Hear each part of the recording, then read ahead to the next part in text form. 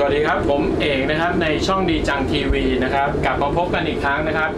วันนี้นะครับผมจะมาสาธิตถ้าทุกคนนะครับที่เคยทำร้านอาหารเนี่ยจะไม่เจอประสบการณ์นี้แน่เลย เพราะตอนนี้เราขายของเสร็จแล้ว เดี๋ยวเราจะต้องขับรถนะครับ ไปที่ห้องครัวนะครับ ก็คือขึ้นฟรีเวย์ไปไกลเลย ประสบการณ์ผมที่ผ่านมาทำเริ่มทำใหม่ๆเนี่ยน้ำมันก็กระชอกหกกระเด็น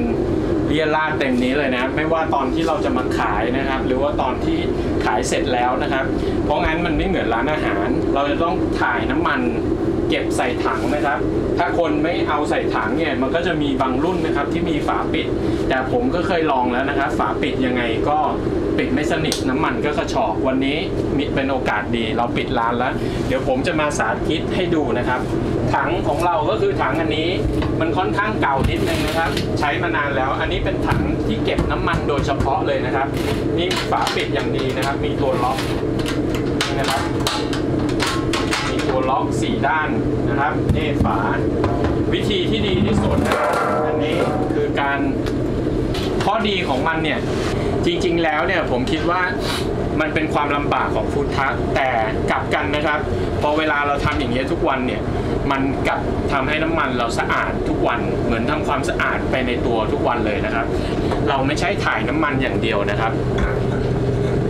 เราไม่ใช่เอาน้ำมันมันออกมา เรามีตัวกรองด้วย ตัวนี้นะครับ ตัวเนี้ย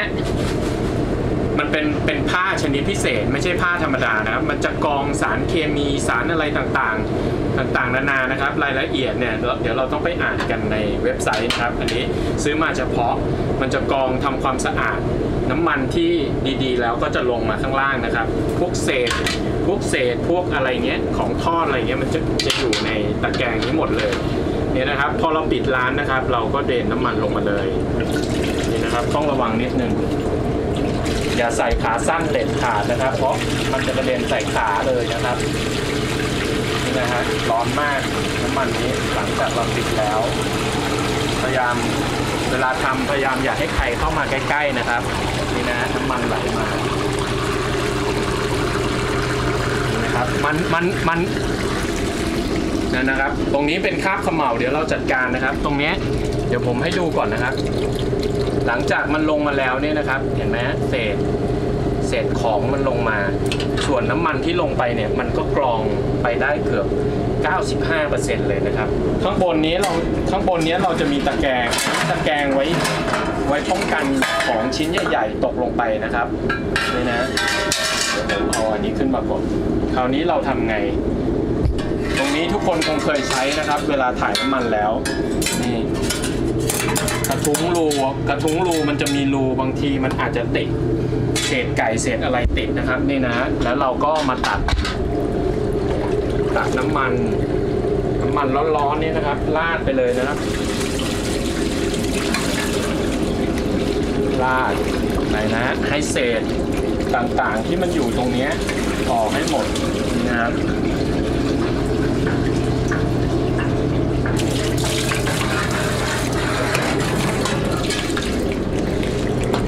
มันก็จะไหลลงมาเศษที่เหลือๆนะครับ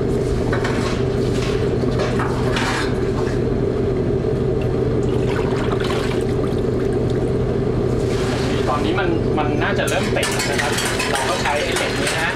นะใช้เหล็กนี้กับทุ้งนะครับเห็นนะครับผมกำลังทะลวงทะลวงตรงรูมันเนี่ยเพื่อบางทีมันมีอะไรติดอยู่ข้างล่างนะครับถ้ามองเห็นนะครับ เราจะพยายามซูมกล้องเข้าไป อันนี้นะครับเป็น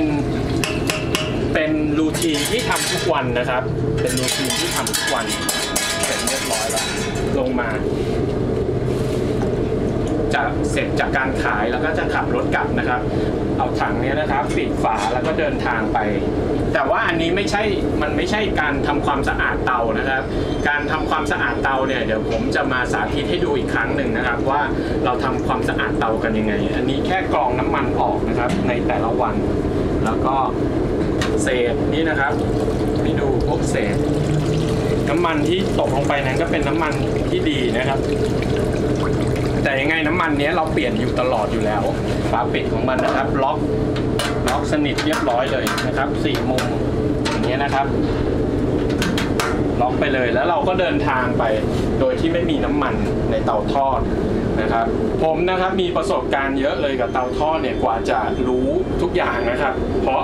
อย่างวันแรกที่ขายของเลยนะครับ ใส่น้ำมันมาเต็มที่เลยกะลุยเต็มที่เลยนะครับ ขับรถออกมา เดินทางมาขายจอดปุ๊บเปิดร้านปุ๊บตกกระจายเลยนะครับ น้ำมันนองเต็มรถเลย เต็มพื้นเลย กว่าจะเปิดได้ใช้เวลาอีกหนึ่งชั่วโมงนะครับต้องมาเช็ดน้ำมันกันเพราะมันค่อนข้างลื่นมาก นี่นะครับเป็นประสบการณ์ของรถอาหารที่อยากมาแชร์ ให้ทุกคนได้รู้กันนะครับ อันนี้เวลาเราเสร็จแล้วเนี่ยเราจะใช้เราก็เทกลับลงไปได้เหมือนเดิม หรือว่าใช้ขันมาตักอะไรอย่างเงี้ยก็ได้นะครับวิดีโอนี้นะครับถ้าใครมีข้อสงสัยอะไรนะครับ ก็ถามมาได้นะครับในช่องดีจังทีวีนะครับ เดี๋ยวผมก็จะพยายามมาตอบให้นะครับ แล้วพบกันใหม่คราวหน้านะครับ ผมเอกนะครับในช่องดีจังทีวีขอลาไปก่อนนะครับสวัสดีครับ